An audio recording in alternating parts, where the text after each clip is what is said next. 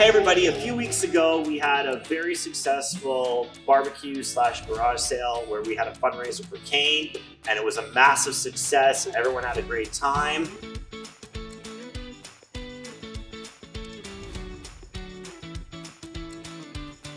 Destiny, how did we do? I'm very happy to say we reached $10,000.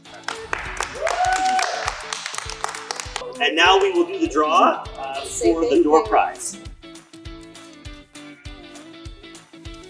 Philip Piercy. Philip Piercy. We will be in touch. It's a lot, tons of prize, tons of gift certificates, and stay tuned. We're going to be doing more events like this in the future.